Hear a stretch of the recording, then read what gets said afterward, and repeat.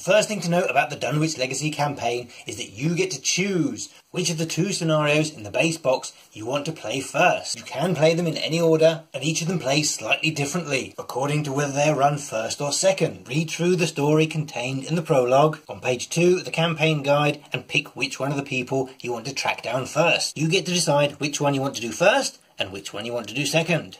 The setup instructions for the house always wins as found on page 6 of the campaign guide. You're going to be using 6 encounter sets, two of those come from the core box, and they are the three copies of Swarm of Rats and the seven cards from the Striking Fear set. For the four new encounter sets, you're going to need the three cards from the Hideous Abominations encounter set, which is one Servant of the Lurker, and two Conglomeration of Spheres. Then there are six cards from Naomi's Crew encounter set, two O'Bannion's Thugs, two Mobsters, and two the Hunted Down Treachery card. Then it's six cards from the Bad Luck encounter set, three Twist of Fate, and three Cursed Luck. And you need to take out four cards from the House Always Wins encounter set, which is a pair of Arousing Suspicions and a pair of Something in the Drinks. You're going to set aside two of these encounter sets out of play, that's the Hideous Abominations and the Striking Fear. And then you're going to take these four encounter sets and shuffle them up to form the encounter deck. Now you're going to take these six cards and set them aside out of play. One copy of Darkened Hall, three copies of the identical Back Hall Doorway, and your story assets, Dr. Morgan and Peter Clover.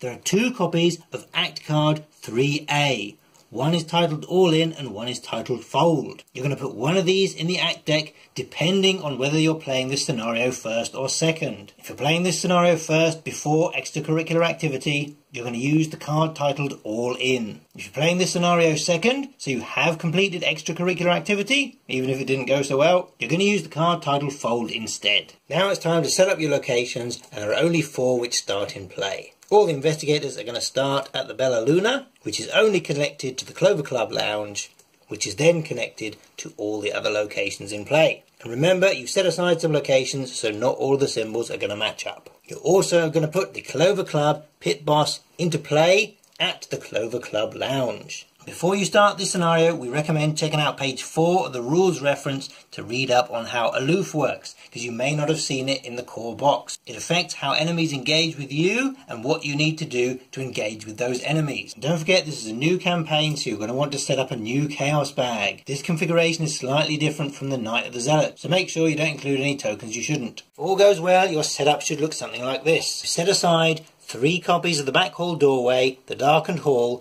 Peter Clover, Dr. Morgan, and everything from the Hideous Abominations encounter set and everything from the Striking Fear encounter set. These are your four locations which are starting in play, and the Clover Club pit boss is at the Clover Club Lounge. Your investigators are starting off at the Bella Luna, so flip it over and put one clue per investigator on it. Chosen the difficulty for your scenario card. You've got three act and agenda cards. There's your encounter deck, ready to go.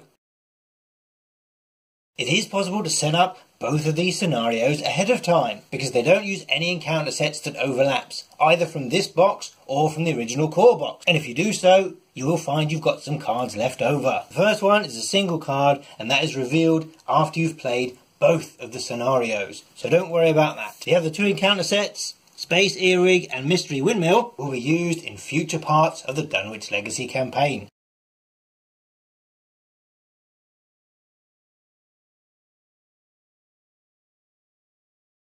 And your story assets, Dr. Francis Morgan and Dr. Peter Clover. Ah, now, fellow, it's not coming off.